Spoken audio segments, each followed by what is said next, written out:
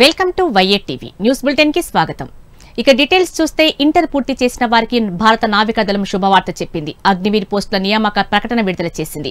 Inter పూర్తి చేసిన అవివాహిత స్త్రీ పురుష అభ్యర్థుల నుండి దరఖాస్తులు ఆహ్వానిస్తోంది. మే పదమూడున దరఖాస్తు ప్రక్రియ ప్రారంభించి రెండు దశల పరీక్షల ద్వారా అభ్యర్థులను ఎంపిక చేస్తుంది. ఎంపికైన అభ్యర్థులకు ఐఎన్ఎస్ చిల్కాలో నేవీ అధికారులు శిక్షణ ఇస్తారు.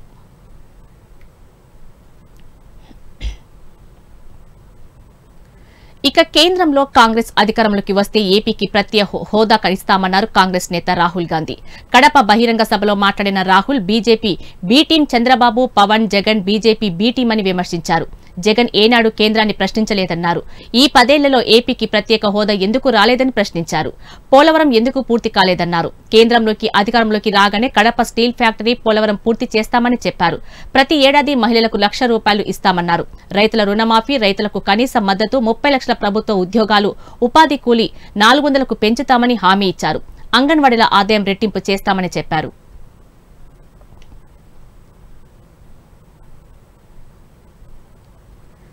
ఇక వికారాబాద్లో నిర్వహించిన ఎన్నికల ప్రచార సభలో కేంద్ర హోంమంత్రి అమిత్ షా పాల్గొన్నారు. ఈ సందర్భంగా ఆయన మాట్లాడుతూ సర్జికల్ స్ట్రైక్స్ చేసే ధైర్యం కాంగ్రెస్కు లేదన్నారు. సర్జికల్ స్ట్రైక్స్ గురించి ముఖ్యమంత్రి రేవంత్ రెడ్డి తమాషాగా మాట్లాడుతున్నారని మండిపడ్డారు. సర్జికల్ స్ట్రైక్స్ ద్వారా ప్యాక్లో ఉగ్రవాదులను ఏరి పారేసినట్లు చెప్పారు.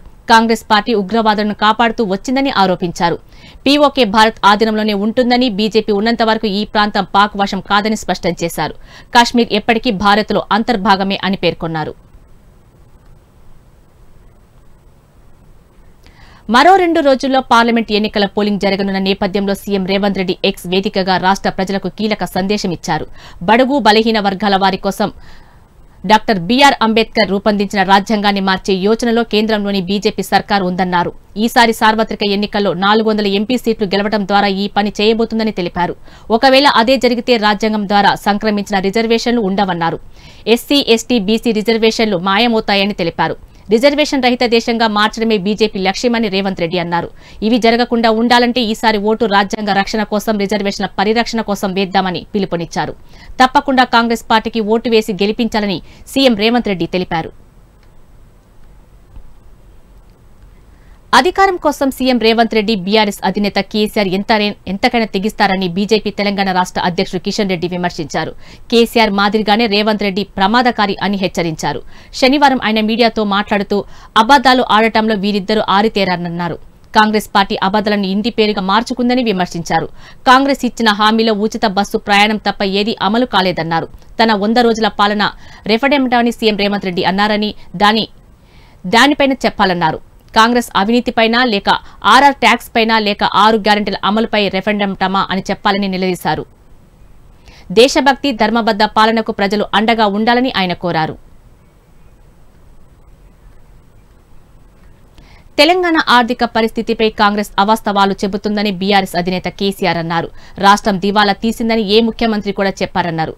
కాంగ్రెస్ పార్టీ చిల్లర రాజకీయాల కోసం అమూల్యమైన సమయాన్ని వృధా చేసిందని విమర్శించారు. నాలుగైదు నెలల కాలంలోనే ప్రజలు కాంగ్రెస్ పార్టీపై తీవ్ర ఆగ్రహంతో ఉన్నారన్నారు.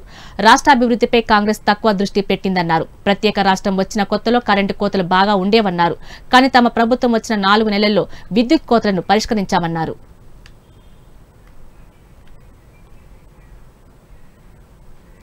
ఏపీలో అసెంబ్లీ పార్లమెంట్ ఎన్నికల కౌంటౌన్ స్టార్ట్ అయింది. ఎన్నికలకు మరో మూడు రోజుల సమయం మాత్రమే ఉన్న క్రమంలో నేతలంతా ఓటర్లను ప్రసన్నం చేసుకునేందుకు తీవ్రంగా ప్రయత్నిస్తున్నారు.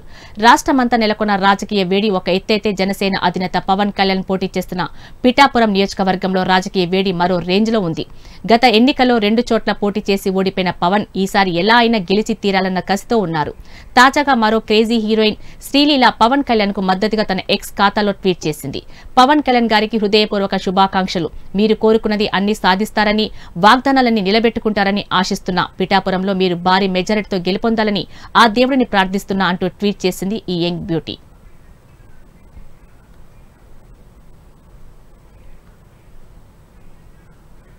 ప్రతిష్టాత్మక డైమండ్ లింక్ తొలి అంచెలో India javelin star Olympic world champion Neeraj Chopra రన్నరప్గా నిలిచాడు. రెండు సెంటీమీటర్ల తేడాతో టాప్ ప్లేస్లో కోల్పోయాడు.